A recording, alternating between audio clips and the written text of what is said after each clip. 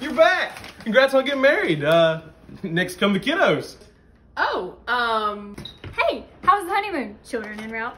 I mean, There's the blushing bride. Is there a side order of babies coming up? okay, yeah, we're trying to conceive. Oh wow, TMI.